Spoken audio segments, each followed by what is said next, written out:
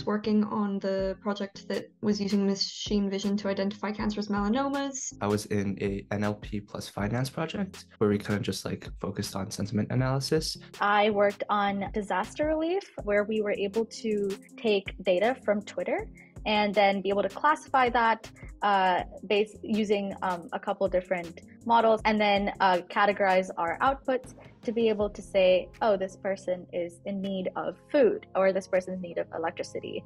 Project itself that i worked on was um, we trained a machine learning model to learn short pieces of text like think tweets for example and then be able to convert that casual more slang like language or jargon into more formal language that was like a great introduction uh, for me as a high schooler to the world of AI and natural language processing. Well, it was really the first experience I had with um, coding in general.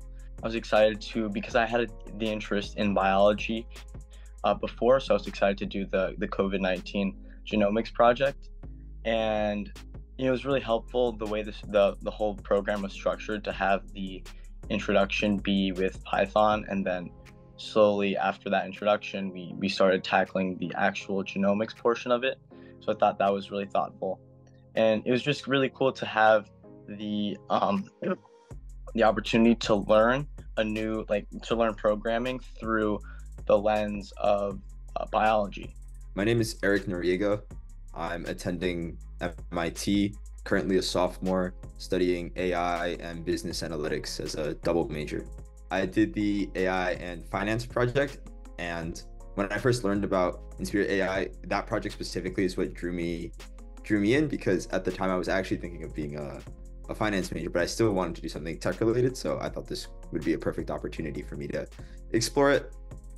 And I had a little bit of experience with Python, but not, nothing with any of like the AI packages that we we use, like pandas or, or NumPy. So that was it was good to have that exposure and I had hadn't used um, Google Colab before. I know the the analogous version of that that a lot of people sometimes use is uh, Jupyter Notebooks.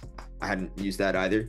So in one of my classes or in one of the research positions I I did last year, when when they pulled up Jupyter Notebooks, I was like, oh, this looks familiar. Like, okay, I actually know how to use this. I don't have to worry about this anymore. But I think that exposure for as short of a time was as it was pushed me to it only furthered my interest in the field. And so by the time I got my decisions, I knew like I wasn't going to study finance anymore. I wanted something more uh, tech related. And so that ended up leading me to the double major that I'm currently doing.